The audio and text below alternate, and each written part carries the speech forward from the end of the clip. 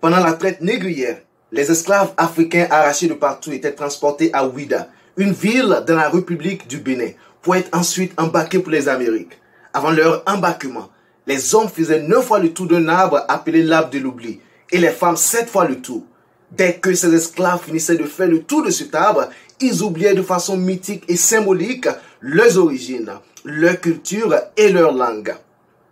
À cela, il faut ajouter l'oubli qu'on leur a imposé et asséné à coups de baïonnettes et de fouet dans le navire négrier, dans les plantations de canne à sucre et dans les maisons des maîtres esclavagistes.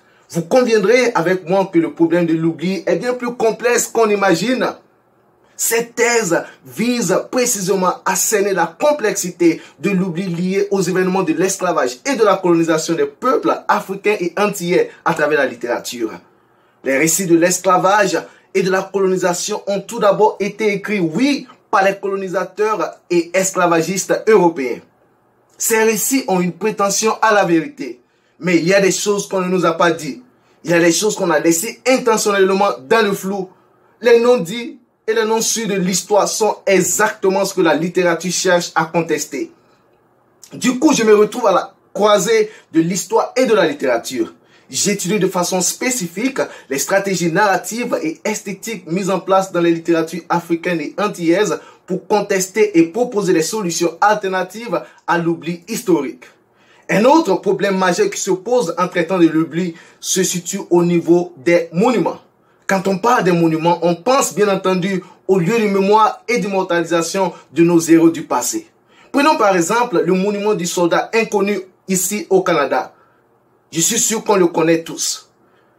Ce monument sert à immortaliser les soldats canadiens inconnus morts pendant la Première Guerre mondiale. Je vous invite maintenant à une petite réflexion. Qui sont ces soldats inconnus? Ne pensez-vous pas que le fait qu'on n'arrive pas à les nommer sujets qui sont déjà oubliés et que ces lieux appelés lieux de mémoire sont aussi des lieux d'oubli? Vous me diriez qu'il y a des monuments qui portent les noms de nos héros du passé. Oui, je suis tout à fait d'accord avec vous. Mais ceux dont les noms figurent sur nos monuments sont-ils les véritables acteurs de la liberté?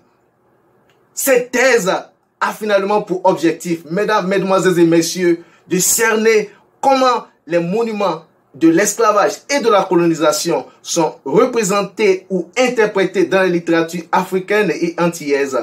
Je vous remercie.